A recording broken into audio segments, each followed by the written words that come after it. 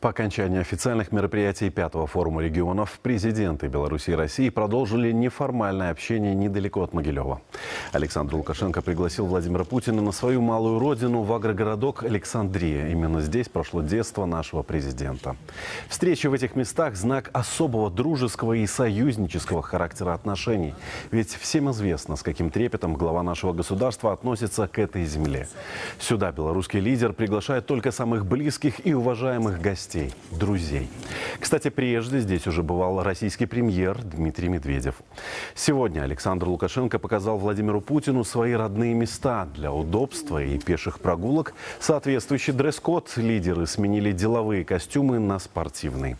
Не спеша прошлись по деревне. Президент Беларуси рассказал своему коллеге об истории здешних мест.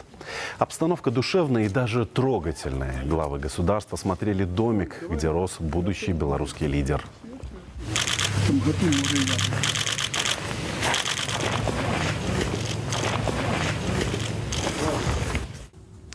Прием высокого гостя поистине был в стиле белорусского радушия и гостеприимства с национальными угощениями.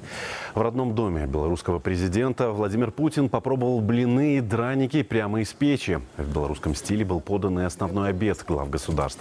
Под стать аутентичному колориту президенты перемещались по деревне на модернизированном автомобиле ГАЗ-69 60-х годов. За рулем лично Александр Лукашенко. Также лидеры побывали на Трофимовой крыше крыницы. К ней еще мальчишкой будущий белорусский президент бегал попить воды. Источник с уникальной по своим свойствам водой восстановили по поручению Александра Лукашенко. Глава государства провел для своего коллеги экскурсии по облагороженной территории. Место святое, куда едут паломники со всего мира. Испить э, целебной воды, окунуться в купели, загадать заветные желания.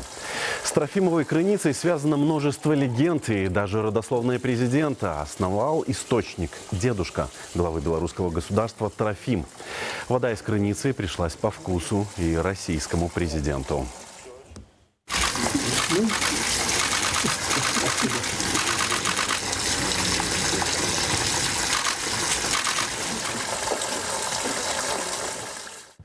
Можно понять ту теплоту, с которой президент рассказывает российскому коллеге о своей родной стороне, о месте, где прошло его детство. Здесь еще мальчишкой оставил свой собственный след, учился трудиться на земле, постигал первые уроки. Красота в простоте. Именно так можно охарактеризовать здешние места. Удивительная природа. Бескрайние поля, леса. Многие приезжают в Александрию именно за этим состоянием. Отдохнуть душой, набраться сил и вдохновиться. Действительно, учитывая красоту антуража, обоим президентам удалось восстановиться после сегодняшних многочасовых переговоров.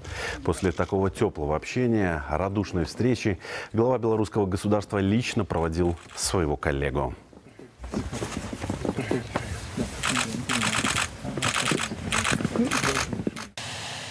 Безусловно, такая неформальная обстановка не помешала еще раз поговорить о главном – двусторонних отношениях.